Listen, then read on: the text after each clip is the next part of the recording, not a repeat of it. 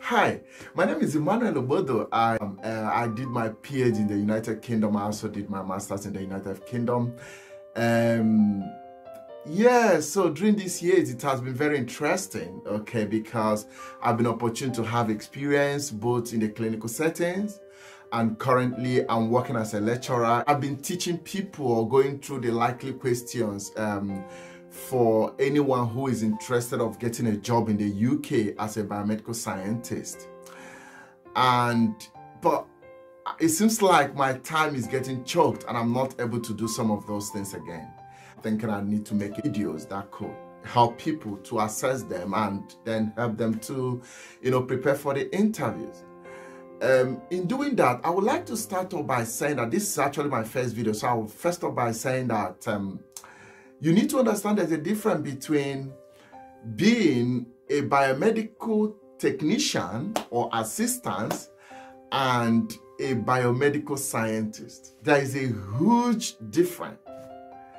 So you need to know that as a biomedical scientist, what that make you a scientist, the key word there is scientist, another one is technician. So what that makes you a scientist is that you are able to know the reason behind every actions that you are taking. There is a scientific judgment before you are able to take those actions. So that as a scientist, you need to know why. And if you are going to increase your chances of getting a job in the UK as a biomedical scientist, you must demonstrate why during your interview. Okay? I'm going to give you a few examples. Let's say you are being given a full blood count result that has low platelet or low MCV or high MCV, as the case may be. What are you going to do? What you are going to do is not just what someone have told you. You need to think what is actually going on in the person, in the patient body. What would make the MCV to be high and what does it mean? What, what is MCV and what is the significance of MCV being high. What is the significance of MCV being low? What is the significance of platelet being high or low as the case may be? These are the things you need to know. And these are the things you need to demonstrate to be able to increase your chances of getting a job as a biomedical scientist.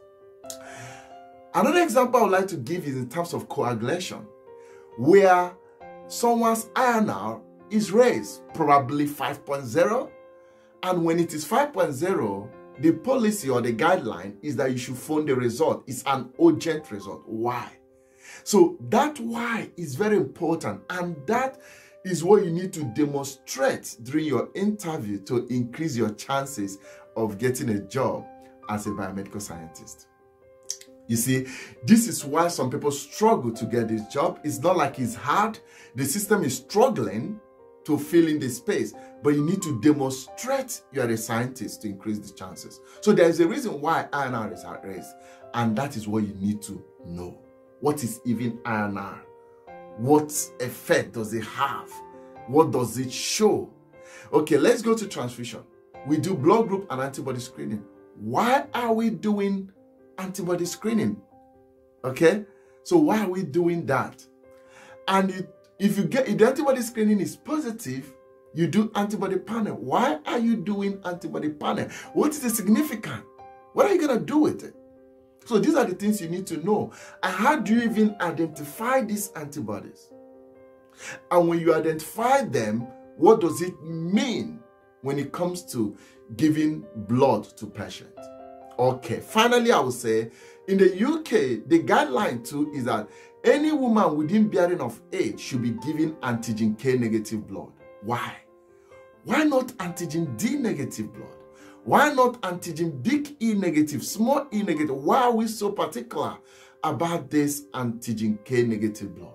These are the things that you need to demonstrate during your interview to be able to increase your chances of getting a job as a biomedical scientist. Now, what I'm going to say is this. I want you to look forward for videos that will be coming out from me. So you can subscribe to the channel so that once I upload the videos, you will be able to see it quickly.